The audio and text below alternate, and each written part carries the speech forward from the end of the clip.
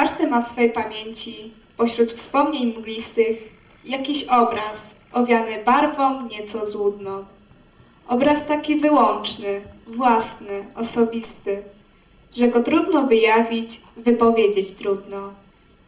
Może to być wspomnienie smugi nad obłokiem, płynącym o świcie po różowym niebie, albo smugi latarni wśród nocy głębokiej.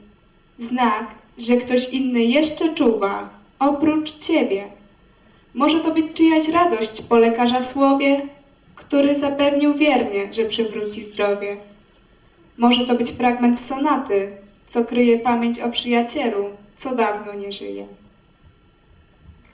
Każdy ma w swej pamięci, pośród wspomnień, obraz taki wyłączny, własny, osobisty. Co maluje pamięć na Twoim obrazie? Na moim obrazie spójrz. Niebieska rzeka płynie zwinnie i słońce żółte wpada do rzeki i zaraz las wyrasta zielony, wielki.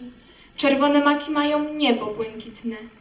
Ten obraz to moja ojczyzna i słońce zachodzi w niej złoto i fioletowo, a kiedy żółty kolor z czerwonym połączę, pomarańczowe kule rozsypię po łące. Pomarańcze na łące? To być może